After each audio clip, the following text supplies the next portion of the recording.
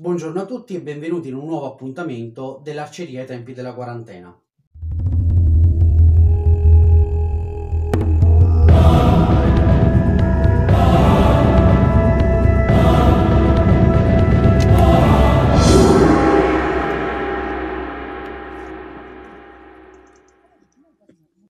Oggi non mostriamo attrezzature particolari utilizzate dagli arcieri dell'antichità.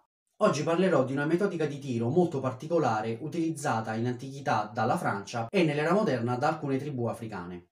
Questa metodica di tiro viene presentata per la prima volta, o perlomeno sia per la prima volta alla prova della sua esistenza, all'interno di un libro anonimo, L'Art d'Archerie. In un capitolo ben preciso viene specificato una maniera per mantenere la corda molto particolare. Se mentre tutti conosciamo la presa mediterranea a tre dita oppure quella chiamata fiamminga a due dita, la quale impone di mantenere la mano perfettamente verticale, perpendicolare alla corda dell'arco, nella metodica di questo libro invece la mano viene mantenuta obliqua. Il motivo è da ricercarsi soprattutto nella facilità di utilizzo di questo tipo di presa. Infatti notiamo durante la prima fase di apprendimento del tiro con l'arco che gli errori più comuni sono quelli di far fuoriuscire la freccia dalla sua sede, mano o finestra che sia.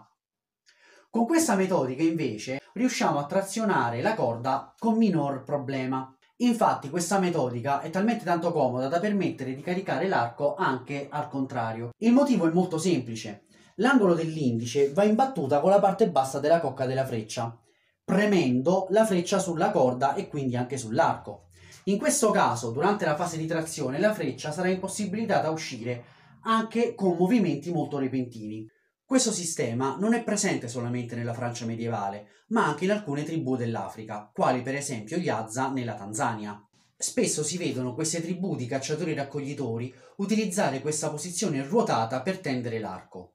Infatti, durante le loro battute di caccia, la posizione non è mai dritta, ma sempre storta.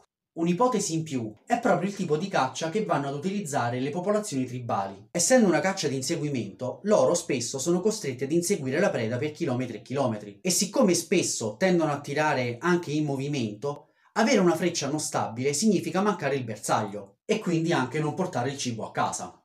Queste ipotesi sono le uniche ad avvalorare il sistema di tiro che indica l'autore, perché non sappiamo se lui abbia scritto in maniera criptica, ma abbiamo comunque delle congruenze a livello mondiale, a livello dell'arceria mondiale. In più, non credo che l'autore abbia scritto qualcosa di sbagliato, visto che in passato saper tirare poteva fare la differenza tra la vita e la morte. Ma la cosa più particolare è che questo ci fa capire quanto le culture possano essere vicine a discapito della distanza e del tempo, sia come strumenti usati, sia come consapevolezza del corpo. E credo che questo racchiuda molto bene l'essenza arceristica, ma soprattutto l'essenza della vita. E con quest'ultima frase figa voglio chiudere il video qua. Vi chiedo di commentare, vi chiedo di condividere, vi chiedo di discutere e soprattutto di continuare a seguirmi in questi piccoli video a cui mi sto dedicando in questo periodo. Un grazie e ciao!